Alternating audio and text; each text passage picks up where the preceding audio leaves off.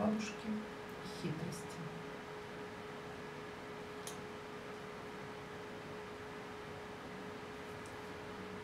Будь похитрее, учила бабуля.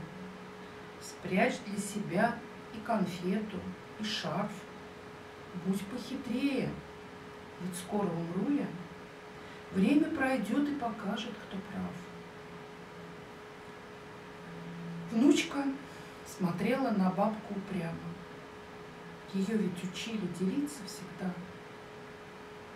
Зачем из конфеты устраивать драму? Бабуль, в голове у тебя ерунда. Конфета – ничто, и шарфы твои тоже. Все вяжешь и вяжешь, помру, мол, носи. Пошла бы в кино, в театральную ложу, писала бы книгу, хитрить не просил.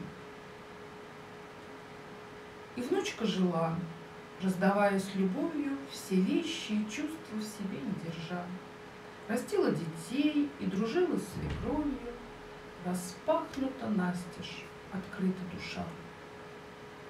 А время бежало, менялись и люди, материя, дух, все смешалось в умах. Едят не конфеты, а фрукты и смузи. Ох, правда уже не в еде и шарфах. И хитрость теперь не припрятать в кармане, а гибкость мозгов, да и мудрость души. Быть хитрым не значит купаться в обмане, не значит ловчить, воровать и грешить. И вспомнила бабушку, внучка в болезни. Не злости учила старушка тогда. Ей хитрость позволила выжить в той бездне, где правили голод, война и нужда. Бабуля, я шарфик-то твой сохранила, и варежки, шапку, и даже носки. Я честно жила и со зла не хитрила. Старушка замолкла, снимая очки.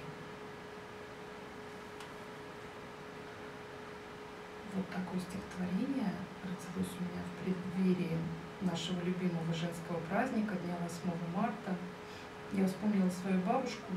Да, она действительно учила меня быть похитрее. И я жутко сопротивлялась на эти ее слова. Советские были времена-то. Хитрость мы понимали как лживость, эм, обман. А если сейчас откроем поисковик и наберем слово хитрость, то увидим, что все не так однозначно. Качество-то очень многогранное оказывается. Изначально хитрый действительно означал лукавый. А в древнерусском значении а, хитрый это уже стало означать мудрый, сообразительный. И действительно хитрость это не всегда обман, лживость, но это еще и гибкость определенная. То есть умение э, прийти к своей цели или что-то создать разными путями.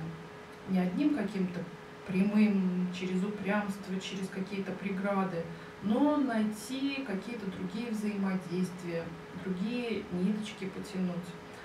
Вот. Так что время меняется, меняемся мы, и меняется понимание э, человеческих качеств и тех слов, которые когда-то нам э, говорили наши бабушки,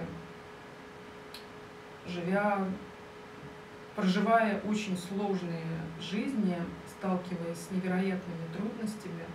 Так что не забудьте их вспомнить или поздравить, позвонить. Всем желаю счастья, теплой весны. И всего доброго, до новых встреч.